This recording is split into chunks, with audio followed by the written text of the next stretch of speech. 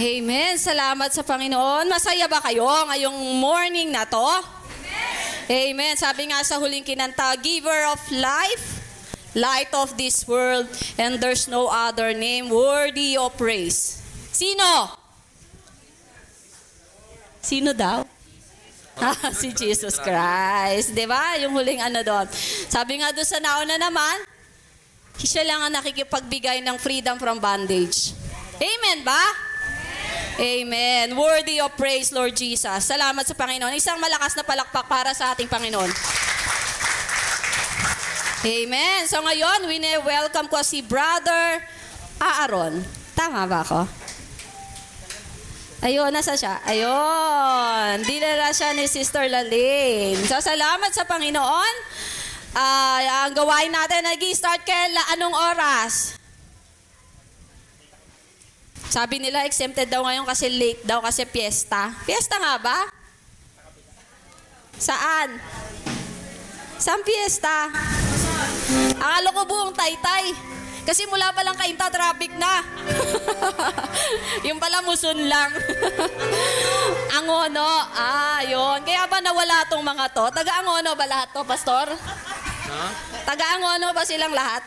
Namiesta yata? Na miesta? Nasaan yung mga leader dyan? Nasa piyesta din? Patay tayo dyan. Sila pala nanguna. Ayan, salamat sa Panginoon. Tayo tayong lahat. Mga kapatid, tayo tayong lahat. Ipadama natin sa, sa ating mga kapatid ang pag-ibig na nanggagaling sa Panginoon.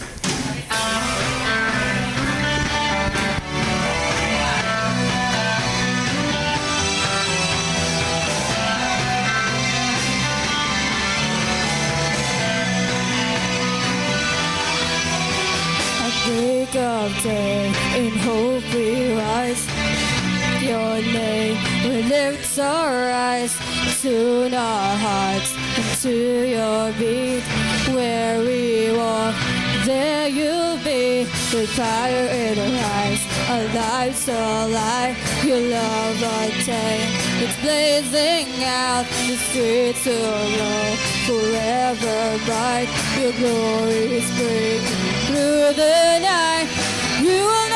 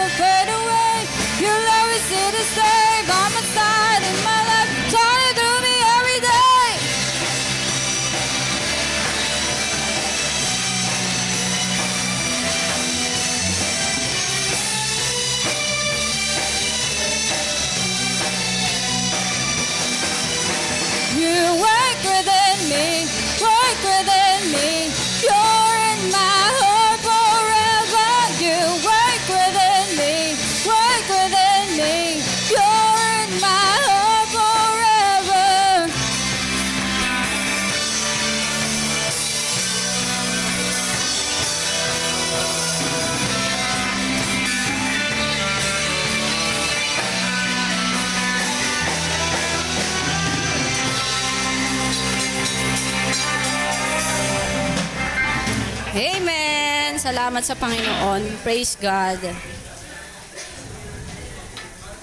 At ngayon, dadako naman tayo. Nakahanda na ba kayo magbigay para sa ating Panginoon? Amen! Natutuwa ako. Oh, lakas ng boses niya. Salamat sa Panginoon. So, be ready to give to the Lord. At pangungunan tayo ni Brother Hener para sa panalangin. Amen. So, sino dito nakakilala kay Noy Noy? Teka, mga Pilipino ba talaga kayo? Di nyo kilala si Noy Noy? Pero sino dito na sino dito kilala ni Noy Noy? Wala na siguro, no? Pero sino dito kilala si Noy Noy in a personal level? Kilala mo lang siguro si Noy Noy bilang presidente pero in a personal level baka hindi mo siya kilala. ba? So, bakit ko ba natanong 'yon? So, alam, familiar naman kayo sa storya ni Abraham. Nung kung tinest ni God si Abraham. So, sabi ni, sabi ni God doon, Abraham, take your son, your only son, whom you love, Isaac, and go to the Moriah. Diba? So, eh, so, sacrifice him as a burnt offering that, that the mountain I will show you. So, kinabukasan si Abraham gumising na maaga, nagsibak ng panggatong, kumu kumuha ng kutsilyo, siyempre, at sinama niya yung kanyang donkey, dalawa niyang alipin, at saka siyempre si Isaac. And then, habang, nala, habang naglalakad sila, napatanong si Isaac sa kanyang ano sa kanyang ama, Tay, napansin ko lang, bakit may dala tayong kutsilyo tsaka panggatong pero wala naman tayong tupang iaalay? Sabi ni Abraham, Anak, si God ang magbibigay ng iaalay natin. Kung isipin natin, galing no? Yung ibibigay natin, sa kanya din pala manggagaling. Diba? So, finally, nandun na sila doon sa mis- mismong bundok na yon. Kung isipin mo, kung ikaw yung ama, or ik- ikaw yung, ikaw yung anak, tapos itatali ka ng iyong ama, ano reaction mo? Siyempre, magugulat ka. Di ba? Magwawala ka siguro. Eh, nababaliw na ata tong tatay ko. Di ba? Bir. Siguro, sa, siguro nag, ano, nagsusumbos siya sa nanay, Nay! Nay! Si tatay nababaliw. Di ba? Kasi siyempre, tinatali siya. Siguro lumuluha si Abraham noon. Kasi yung anak niya, iaalay niya sa Panginoon. And then, ayun nga, nung isasaksakin na ni Abraham si Isaac, pinigilan siya ng anghel. Abraham, Abraham, huwag mo siya papatayin. Huwag mo siya sasaktan. Napatunayan ko na handa kang sumunod sa Panginoon, na inialay mo ang iyong anak na handa kang ialay yung anak yung anak mo. 'Di ba? And then tumingala si Abraham. Then may nakita siyang tupa na kung saan nakasabit sa puno ng kahoy. 'Di ba?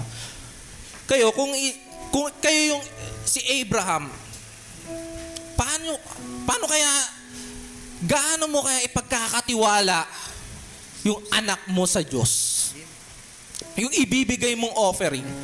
You know kung bakit niya ipagkakatiwala yon? Kasi kilala niya ang Diyos. Hindi mo ipagkakatiwala ang isang bagay kung yung taong yun hindi mo kilala. Amen po ba? Hindi mo ipagkakatiwala yung pera mo, yung bagay mo, sa taong hindi mo kilala.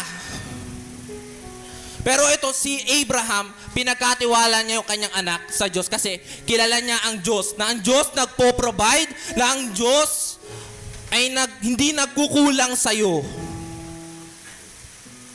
Kaya niya ipinagkatiwala ang kanyang anak. Kasi si Isaac, treasure ni Abraham yun eh. Ikaw ba naman, binigyan ng anak, pinagpe-pray mo, Lord, sana magkaroon ako ng anak. Binigay niya, isang daang taon na si Abraham. Eh, sino dito, ang tagal-tagal mo na pinagpe-pray yung isang bagay na yon, hindi pa rin natutupad. Huwag ka magalala, may isang daang-daong pa. ba? So, ayun nga, tawag doon, kasi marami sa atin, pag, pag pinag-pray mo isang bagay, ha- hindi niya kayang ibalik sa Panginoon.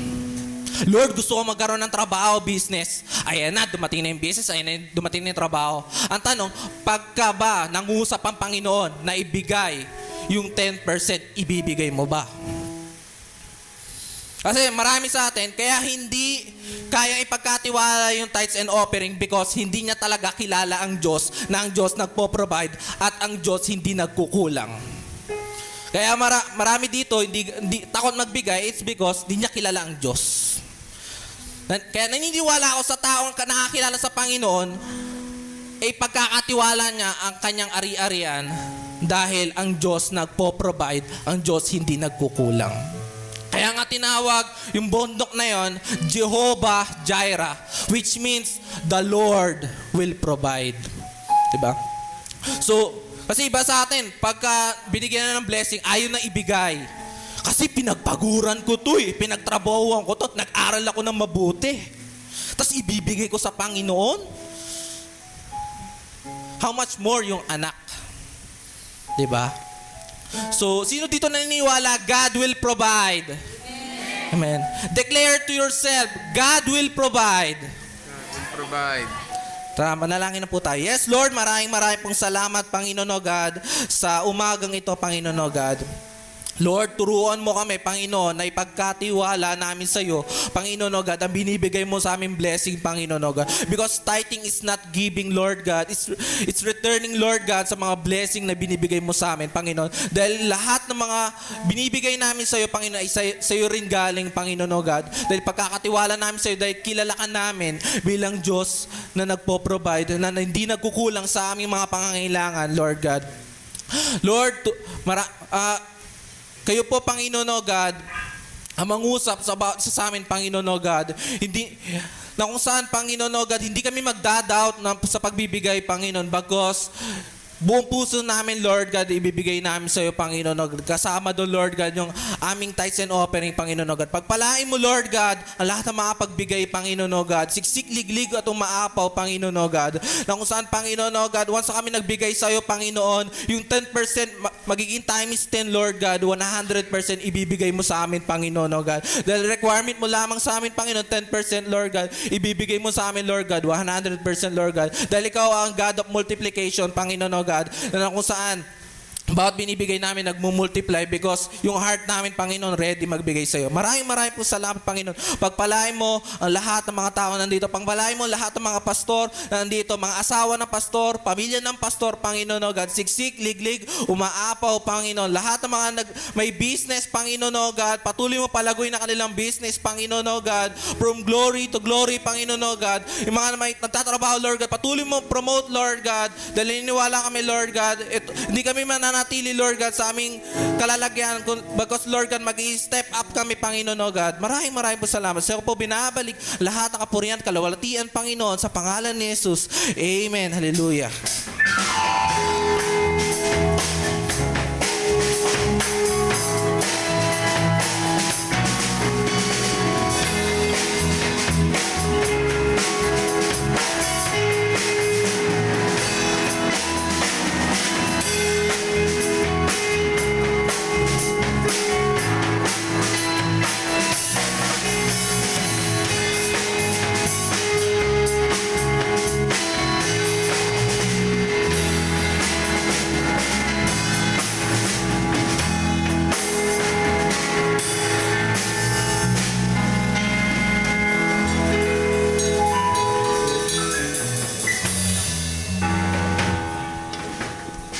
Amen. Ganda ng binahagi ni Pastor Hener, eh, Brother Hener.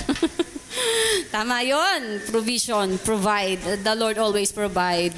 Minsan, ala, ayan na, eto na, deadline. Biglang sisingit si Lord. O, di ba? Yun yung mga himala ni Lord sa ating buhay. Kaya ako din nagpapasalamat dyan eh.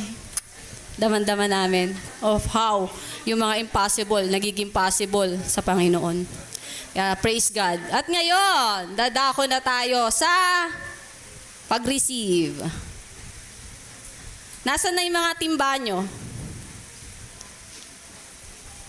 Oh, magre-receive na tayo, di ba? Pag magbubuhos si Lord ng pagpapala, an- ano yung dadali natin? Kutsara! Hindi. Ito na. Ito na yung kung saan ang Panginoon magbibigay sa atin ng pagkain natin. Spiritual na food natin. At yung gagamitin na pastor dito sa part na ito, ang binigyan ng Panginoon. Na alam kong alam kong nandun yung ano niya, yung mula pa lang pagkabata yata niya, talagang naka ano na siya, eh, no? Nakatalaga na, no? Sa paglilingkod. Kaya minsan, napakasipag, napakasipag na pastor to. Ah, pastor, si pastor na lagi mong lagi mong laging nandyan pagtatawagin mo. Yung pastor natin na napakasipag, kahit na anong paggawa mo gagawin. Yung pastor na minsan puyat na puyat na yan. Walang tulog, pero napaka ano, basta sa gawain ng Panginoon, lagi siyang nakaprepare, lagi siyang nakahanda. Kaya meron akong iiwan na verse. Stand firm in faith. Let nothing move you alam natin na hindi nawawala ng halaga ang mga ginagawa natin sa Panginoon. Amen ba? Amen. So tinatawagan ko na ang ating pastor, Pastor Edwil Tinambakan. Praise God. Hallelujah. Salamat sa Panginoon sa pagkakataong ito, ano, bagamat yung mga kabataan natin. Alam mo, minsan yung mga kabataan na active sa gawain yan. Kaya minsan, di mo rin masasabi na active sa gawain sa Panginoon. Active rin po sila sa gawain sa sanlibutan. Kaya sabi kasi, minsan naririnig ko, ang buhay daw natin ay kailangang balanse. Pero tiyakin natin mga kapatid na hindi tayo malulunod sa mga pangako sa sanlibutan ito. Kailangan nakatuon ang ating paningin, sabi nga sa Hebreo chapter 12 verse 2, Let us keep our eyes fixed on Jesus. Yung nakapix, ibig sabihin yung nakapix, yung, yung hindi na po magagalaw yan. Kahit anong gawin natin, nakapako na po yan, nakadikit na po yan, nakapix na po yan. Kapag ang ating paningin sa Panginoon, ito natin sa Panginoon, kailangan ipako natin. Huwag po tayong uh, madadala sa mga nakikita natin sa sanlibutan. Huwag po tayong madadala sa ating naririnig sa sanlibutan ito. Tandaan po natin mga kapatid na tayo po'y Nandito sa sanlibutan ito, tayo po ay temporary. We are all stranger. Mga estranghero po tayo dito. Sa ayaw nyo at sa gusto nyo, yung mga kayamanan po natin dito sa sanlibutan ito, iiwan po natin yan. Kaya napakahalaga yung ginagawa po natin araw-araw. Kung ito ba'y kalooban ni Lord o kalooban din po natin. Kaya sa oras ito mga kapatid, uh, Maikli lang po yung mensahe natin. Napakaikli lang po nito.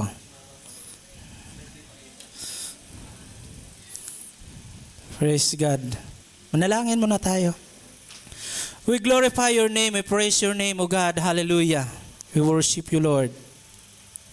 Salamat, Panginoon, sa pagkakataong ito. Salamat na patuloy niyo pong ipinagkalob sa amin ng isang oportunidad na kami ay magkasama-sama, magpapalakasan sa bawat isa. Higit sa lahat, Panginoon, ay pag-aralan ng yung banal na salita upang maibahagi sa bawat isa sa amin, Panginoon. Ito ay magbibigay karagdagan sa aming pananampalataya. Ito ay magpapatibay ng bawat isa sa amin, Panginoon, habang kami naglilingkod sa iyo. Pagpalain niyo po ang inyong mga anak nakikinig. Patuloy niyo pong buksan ang aming puso, ang aming isipan, Panginoon upang lubusan naming maunawaan na yung salita. Lord, pagpalain niyo po ang lingkod. Patuloy niyo po akong pangunahan sa tanging pangalan ng bugtong nak na Jesus. Amen. Palakaman mo natin natin, Panginoon.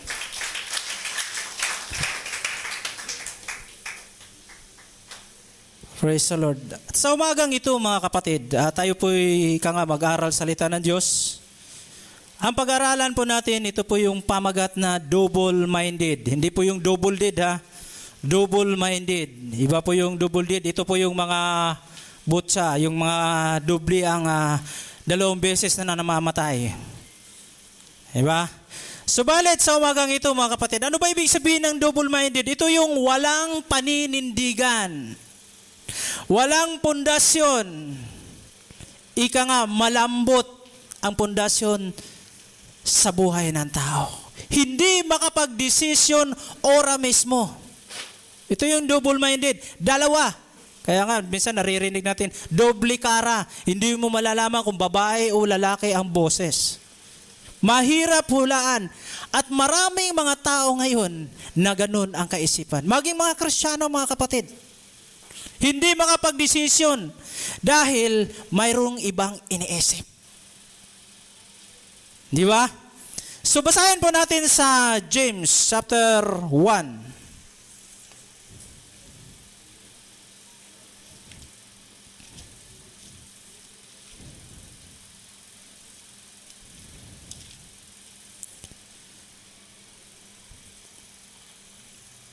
Umpisahan po natin sa 7. Ang sabi rito, Huwag umaasang tatanggap ng anuman mula sa Panginoon ang taong pabago-bago ang isip. Anong sunod yan? Pabago-bago ang isip at di alam kung ano talaga ang ibig. Huwag daw umasang tatanggap mula sa Panginoon. Ang taong pabago-bago ang isip, ayaw pala ni Lord yun. Di ba? Gusto ni Lord kung magdesisyon ka ngayon, paninindigan mo yung desisyon na magpapatuloy tayo sa paglilingkod sa ating Panginoon. Mahirap po mga kapatid. Sa isang tao na napakaraming iniisip, pero wala man ni isa natutupad. Alam ko po mga kapatid, kahit hindi ako marunong magbasa ng isip, pero alam ko kung ano yung nilalaman ng isip nyo. Dahil minsan, ang isang tao, hindi maiwasan po tayo nangihina bilang isang Krisyano. Pagdating ng ah, Sabado ng gabi, doon po nag struggle ang tao. Sisimba ba ako bukas? Ay, hindi na lang. Sisimba ba ako bukas? Oo, sisimba ko. Pagdating ng umaga, iba ang iniisip. Ganun po. Minsan ang kalagayan ng isang Kristiyan, nagdadalawa ang isip po natin. At ang sabi ng Panginoon, kung tayo'y mananalangin sa Kanya, huwag kayong aasang tatanggap man kayo ng pagpapala na nagmumula sa Panginoon kung yung isipan mo ay pabago-bago. Humingi ka ni Lord ng sapatos na size 7, gusto mo pala 6. Di ba? Gusto mong yumaman. Pero nagbabago ang isip mo, hindi ko kaya, Panginoon. Kapag ako yumaman, baka hindi na ako matutulog yan sa kakaisip sa business ko. Ganun po ang iniisip ng tao. Huwag po tayong aasa. Sinisigurado ng ating Panginoon sa sinasabi rito, huwag umaasang tatanggap ng anuman mula sa Panginoon ang tao taong pabago-bago ang isip at di alam kung ano ang talagang ibig. Mahirap po mga kapatid. Kung ano yung gusto mo. Kung ano yung ayaw mo. Diyos lamang po ang nakakaalam kung ito ba'y karapat dapat sa iyo o ito ba'y nababagay sa iyo mga kapatid. Ngayon po, mayroon po tayong mga dahilan kung bakit ang isang tao nalulung sa tinatawag natin na double-minded. Number one po mga kapatid, yung magulo ang isipan. Yan mo, hindi ka makapag-decide, magulong isipan mo eh. Basahin po natin mga kapatid sa Galatia.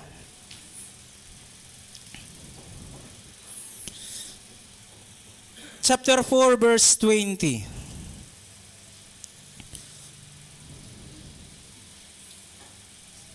Ang sabi rito ni Apostol Pablo sa mga taga-Galasya, Ibig ko sana kayong makaharap para masabi ko ang aking salubin. Pagkat gulong-gulo ang isip ko'y tungkol sa inyo. Maging si Apostol Pablo po, naguguluhan sa mga taga-Galasya. Bakit? Ano bang style ng mga taga-Galasya? Ang sistema po ng mga tao sa Galasya, mga kapatid, nung hindi pa sila kristyano, ang daing pinapaniwalaan. Daing sinasamba, ang daing mga pamahiin. Yun po ang kanilang sinusunod. Subalit nung ipinapahayag ni Apostol Pablo ang tungkol sa kaligtasan, mga kapatid, sila po'y nagbago. Sa madalit salita, sila po'y na-born again. Sino rito ang born again? Sila po'y nagbago katulad nyo. Ngayon, umalis si Pablo doon sa Galatia. Ngayon, bumalik siya. Pagbalik niya mga kapatid, doon nagkaroon ng saluubin si Pablo. Sabi niya, hindi ko na alam kung ano ang gagawin ko sa inyo. Gulo-gulo ang aking isipan.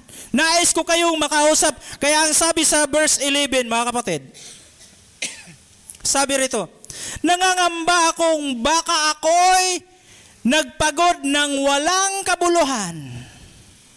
Ito yung pinangangambahan ni Pablo. Baka yung ginagawa ko, ilang taon ko pinapaliwanag sa inyo tungkol sa kaligtasan, nangangamba ako na yung ginagawa ko useless lamang. Yung ginagawa ko, yung walang kakwenta-kwenta sa inyong paningin. Bakit? Bumabalik sila sa dating kalalagyan. Yung dati nilang ginagawa na hindi ka nais-nais sa harapan ng Diyos, dati uh, binabalikan nila. Kung dati born again sila, ngayon, B-U-R-E na ang ginagawa nila. Burn again na sila. Bakit? Bumabalik sila sa dating buhay. Ganun po, marami po mga pastor ngayon, marami po mga leaders ngayon na hindi na po alam ang, anong gagawin nila. Ito ba'y naunawaan na aking mga kapatiran? Ito ba'y naintindihan nila ang salita ng Diyos?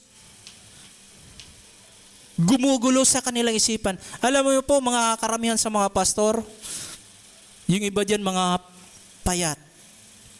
Yung iba dyan, iba na ang tingin mo dahil nagpapagal po yan. Araw, gabi, ipinapanalangin ang kanilang mga membro. Pero tingnan mo naman, kapag pinagpala ka ni Lord, tinan mo yung mga pastor ngayon, umaawit pa ng bayang magiliw kay Pacquiao. Sabi ko, praise the Lord. Sumikat bigla ang mga pastor. Ang daming mga artista ang pwedeng kumanta, pero pagdating kay Pacquiao, mga pastor ang pinili. Sayang nga lang hindi na rekomenda si pastor doon doon. Makikita sana natin. So favor yun sa mga anak ng Diyos. Di ba? Dati-rati hindi napapansin, pero makikita sa buong sanlibutan kung anong klase, kung anong klaseng tao ang mga pastor. So dito ma- ma- natin makikita kung ano yung klaseng pagpapagal ni Apostol Pablo sa taga Galatia. Ang hirap pangunahan ng mga tao sa Galatia. Ito yung double-minded mga kapatid. Pangalawa, ito yung tinatawag na walang pananampalataya. Kaya nagdadalawa ang isip mo dahil hindi ka believe doon sa iyong ginagawa. Di ba? Hindi ka makapag-desisyon dahil hindi ka sigurado. Di bali matagal pastor basta sureball naman ang desisyon ko. Ang mahirap niyan, hanggang ngayon, hindi ka pa nakapag-decide sa sarili mo. Ano ba talang gusto ng, anong, anong klaseng business ang gusto ko? Basahin natin mga kapatid sa Lucas chapter 9.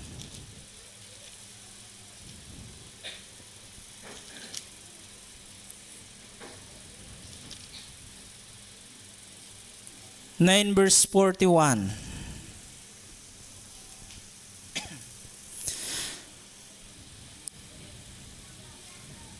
Lucas 9 verse 41. Sabi rito, Sumagot si Jesus, lahing napakasama at walang pananampalataya.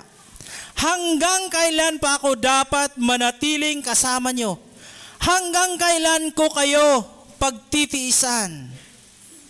At sinabi niya sa lalaki, dalhin mo rito ang iyong mga anak. Ito po yung pangyayari. Noong unang kapanahonan, di ba yung mga disciple kasakasama ng ating Panginoong Isus. Dumating yung pagkakataon sila nagkahiwa-hiwalay. Magkasama na yung mga disciple, humiwalay ang ating Panginoong Isus. At dumating yung point dahil sila po ay kilalang kilala doon sa lugar na yun. May isa pong lalaki na nagkaroon ng karamdaman ang kanyang anak. Ano, alam po niya kung anong karam, klaseng karamdaman? Basahin po natin anong klaseng karamdaman. Umpisahan po natin sa 38. May isang lalaki roon sa karamihan na sumigaw ng ganito, Guro, pakitingnan po ninyo ang kaisa-isa kong anak na lalaki. Inaalili, inaalihan siya ng isang espiritu. At bigla na lamang sumisigaw. Ito yung sakit niya. Sumisigaw, nangingisay, hanggang sa bumula ang kanyang bibig. Sinasaktan siya at ayaw iwanan. Mahirap pong karamdaman ito, di ba? Nangingisay ka, tapos bumubula ang iyong bibig at sinasaktan ka ng Diablo. Mula pagkabata, kaya naghahanap ng paraan ang isang ama. At narinig niya ang tungkol sa ating Panginoon Isus at inilapit niya sa mga disciple. Pero ano nangyari mga kapatid? doon sa ginagawa ng mga disciple. Sa verse 40, Ipinamanhi ko po sa inyong mga alagad na palayasin ang Espiritu, ngunit hindi nila magawa. So walang nangyari po. Yung sa matagal na panahon na pagsasama nila sa ating Panginoon Isus, sa pagkakataong ito, masasabi natin wala ba silang natutunan? Hindi po nila napapalayas ang masamang espiritu.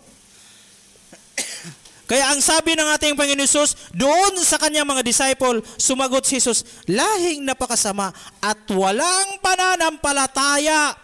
Hanggang kailan pa ako dapat manatiling kasama nyo? Hanggang kailan ko kayo pagtitisan? Kanino mga madalas nating marinig yung salitang pagtitiisan? Sa mag-asawa daw.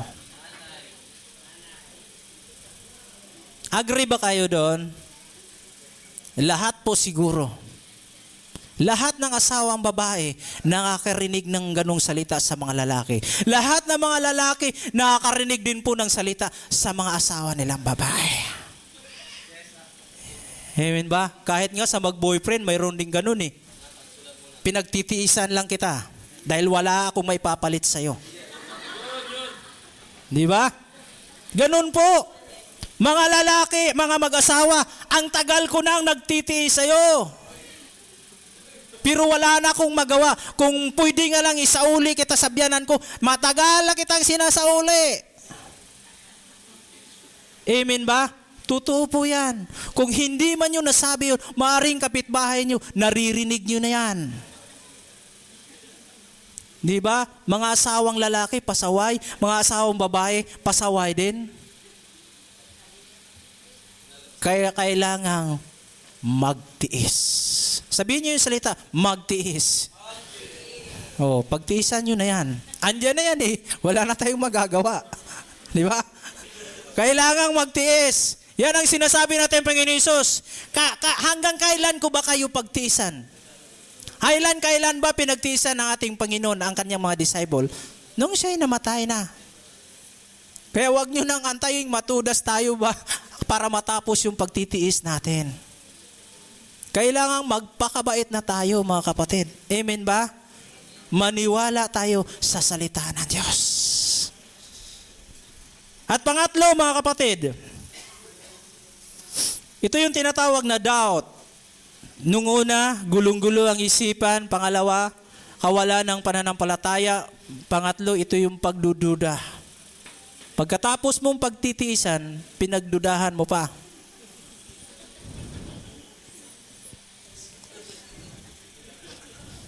Sa John 20, mga kabataan ha, magtiis kayo. Pero hindi pa sigurado yan. May pagkakataon pa. May pagkakataon pang magbago, huwag niyong palitan. Sa John chapter 20 verse 24.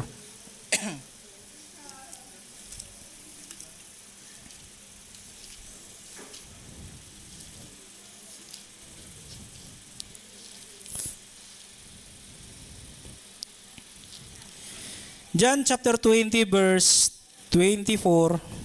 Ang sabi rito,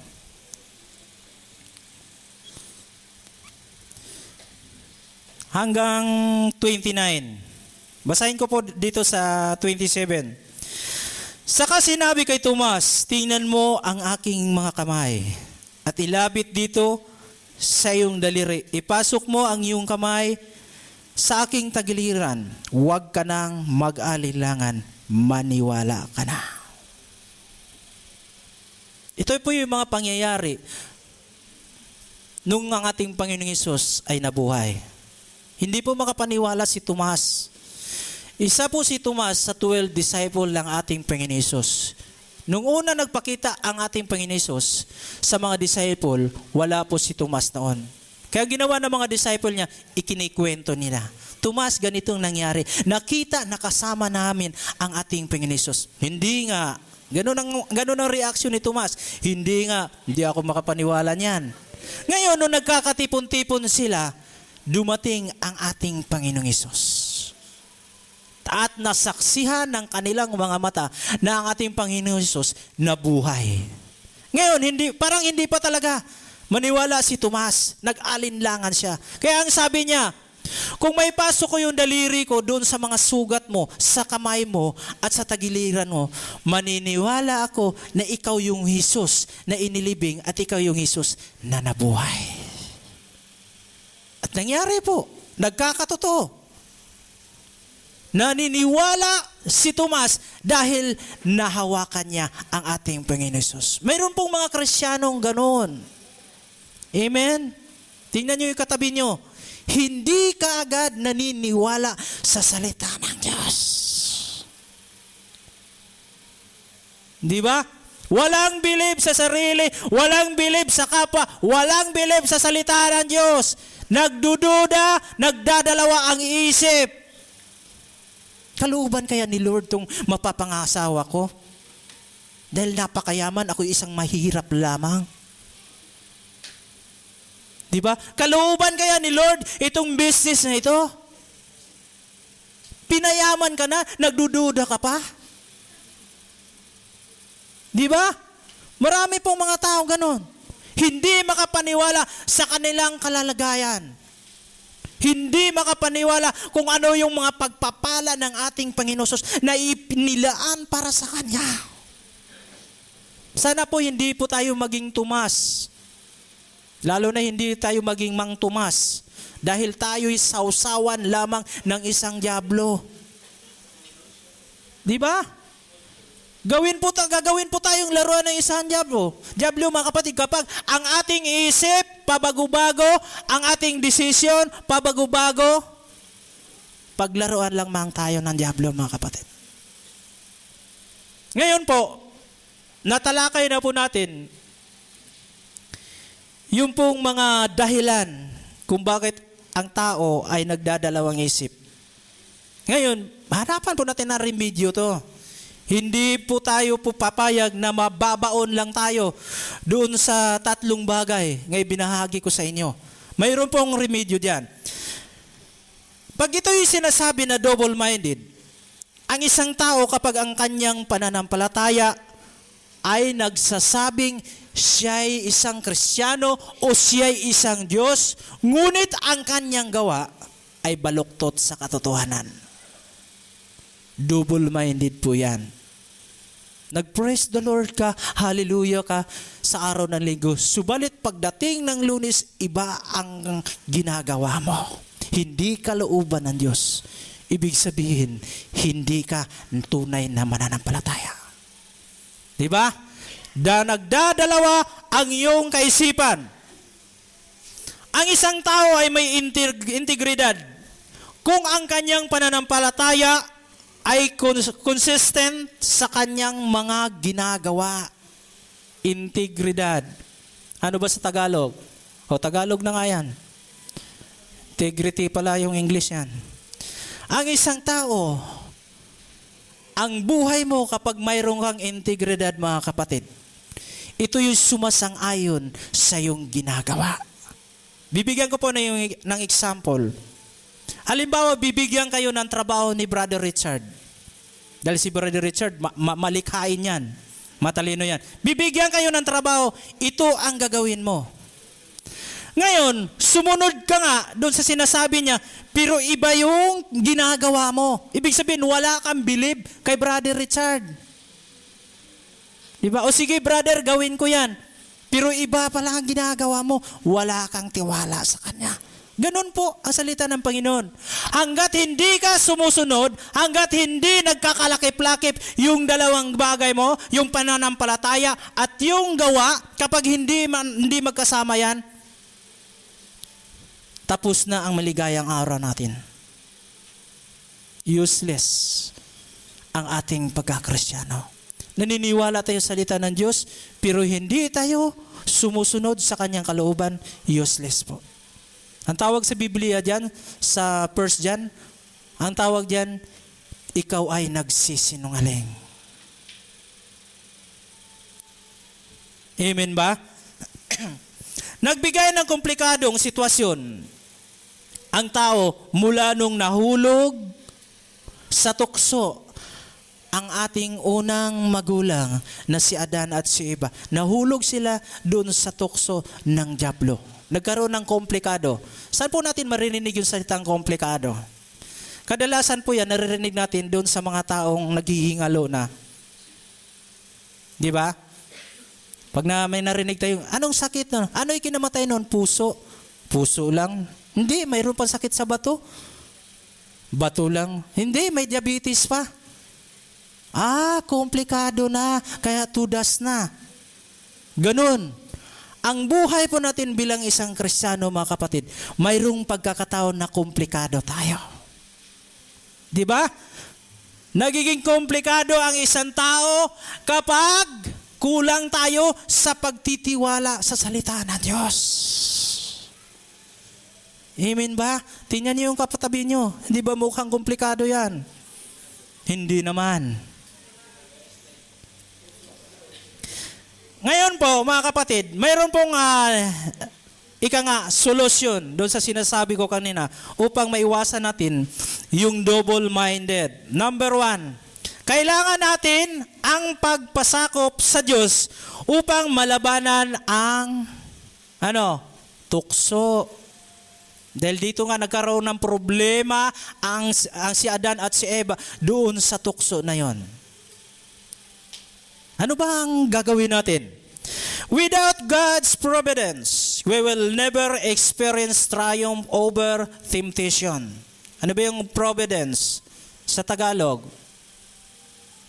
Divine guidance. Ay, English rin pala yun. Divine guidance. So, kailangan natin ng guidance ni Lord bilang isang Kristiyano upang magtatagumpay tayo laban sa mga tukso.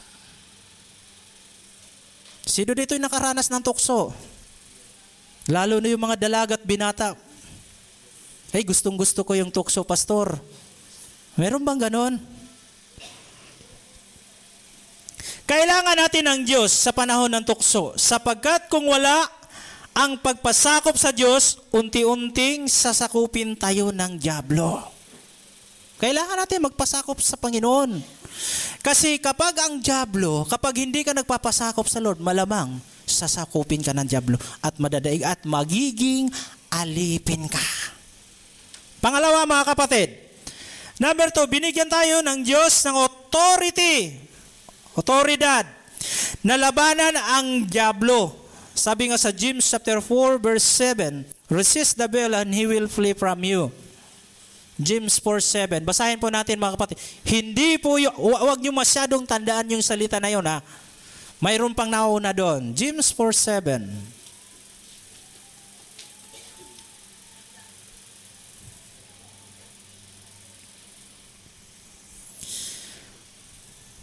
Ang sabi rito, kaya nga pasakop kayo sa Diyos, labanan ninyo ang Diablo at lalayuan niya kayo. Bago tayo lumaban sa Diablo, ano gagawin natin? Number one, pasakop. Di ba naalala yung sinasabi doon sa nakasulat sa Biblia na ang mga ang mga tao na gumagaya sa mga alagad ng Diyos, sila ay nagpapalayas din ng mga Diablo.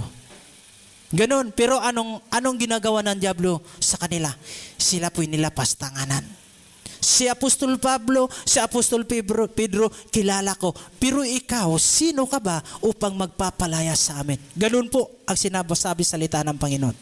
Ngayon, kung wala po tayong authority, dito po tayo nagkakatalo mga kapatid. Kung wala, wala po tayong authority, ano sa Tagalog yan? Autoridad. Parang kahoy din. Kung wala, karapatan na lang. Kung wala po tayong karapatan na magpapalayas ng Diablo, sa tingin nyo, papaniwalaan kayo?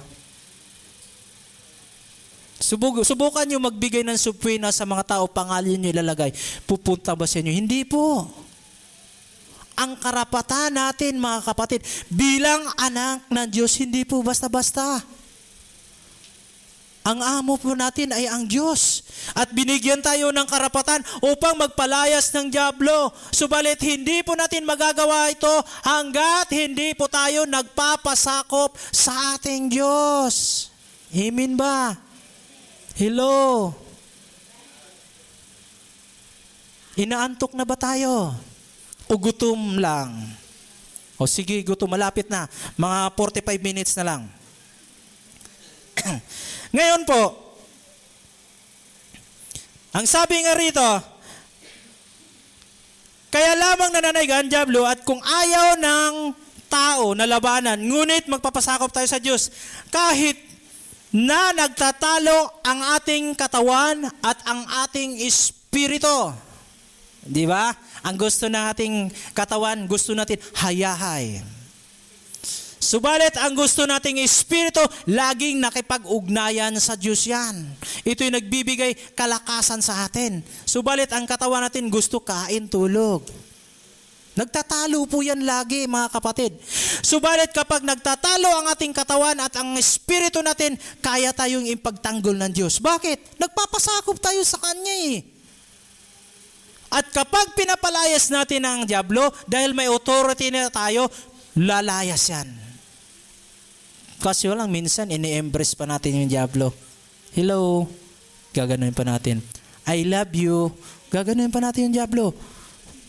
Di ba? Sa anong paraan? Yung mga kasalanan po natin. Lalo na yung mga darling sin natin. Yung mga kasalanan na hindi po natin maiwan-iwanan. Hindi po natin kayang palayasin dahil ayaw po nating mawala sa buhay. Pastor, napapamahal ko na to. Di ba? Sabi nga ng ibang mga tao, may mga bisyo, Brad, ang laki na ng puhunan ko ng to. Hindi ko pwedeng iwanan to. Bisyo na yun ha. Brad, tigilan mo na yung sigarilyo. Nakakasira sa katawan. Hindi, malaki na ang puhunan ko na ito. Pagpatuloy ko na lang to. Di ba ganon? Ganon po ang sinasabi ng mga tao na hindi nakakaunawa sa salita ng Diyos. Ngayon, pangatlo, ang patuloy na paglilinis ng ating mga gawa at kalooban ang maghatid sa atin sa simpleng pamumuhay. Ang patuloy na paglilinis ng ating pagkatao. Dahil maniwalat kayo sa hindi, araw-araw narurumihan yung pagkatao natin. Sangayon ba kayo noon? Araw-araw po tayo nagkakasala mga kapatid. Kahit anong iwas natin sa tukso, dahil mahina tayo, nabibiktima tayo minsan. Ang mahirap pa noon, imbis na lapitan tayo ng tukso, tayo pa mismo ang lumalapit sa tukso. Amen ba mga kabataan? Nangyayari po sa atin yan. Paminsan-minsan. Ang mahirap, huwag nyo na pong dalasan. Paminsan-minsan lang. Dahil kapag madalas na ang nangyayari sa buhay nyo, magiging alipin na kayo ng kasalanan. Nakakaiwas sa komplikadong pamumuhay ang isang tao patuloy na paglilinis ng kalooban sapagkat hindi siya pinamahayan ng anumang karumihan. Nalilinisan po ang ating sarili. Dahil hindi po tayo namumuhay sa anumang karumihan sa sanlibutang ito. Nahirap po mga kapatid. Bilang isang kristyano, every Sunday tayo dito. Pero pagpasok natin dito sa church, mahirap pag pumasok ka dyan na napakarumi ng puti, putik ang iyong mga paa. Ang daming putik na yun. Hindi ka nagbibihis. Ganun. Mahirap po humarap sa Diyos kapag ganun ang sarili natin. Kailangan magpakumbaba tayo sa ating sarili. At isuko natin ang ating pagkatao sa ating Diyos na buhay. Sapagkat nalinis ang kalooban, nagkakaroon siya ng maliliwalas na internal manifestation. Internal manifestation, yung kaloob-looban po natin. Yung puso po natin, mailabas natin kung ano yung nasa puso natin, kung ano yung kabutihan na ibinahagi ng Diyos sa ating buhay. Maipabaha, maibahagi natin sa ating kapwa. Amen ba? Na may pahayag sa pamagitan ng malinis na pamumuhay. Ngayon po, bilang isang Krisyano, kailangan lagi tayong malinis. Sa paningin ng tao at sa paningin ng Diyos, kailangan malinis tayo. Kaya ang sabi sa James, chapter 4, verse 8,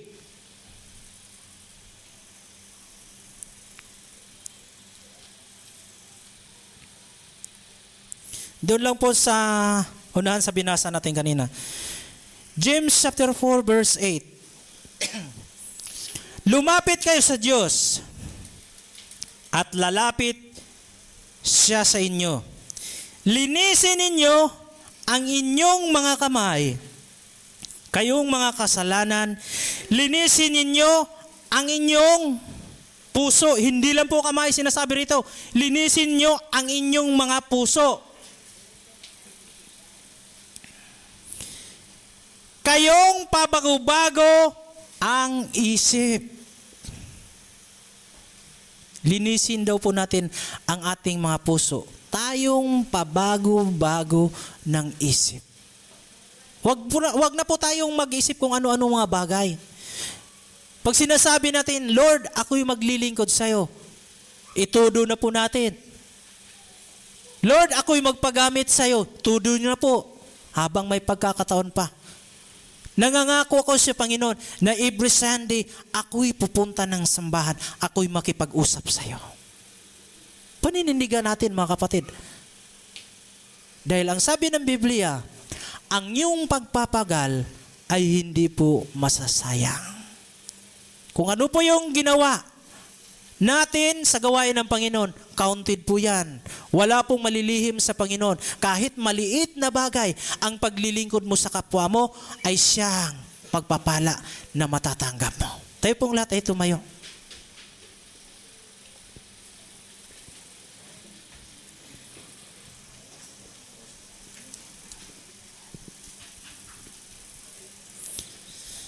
Praise the Lord. Hallelujah. Awit muna tayo ng isang awit. Saan yung mga singers natin?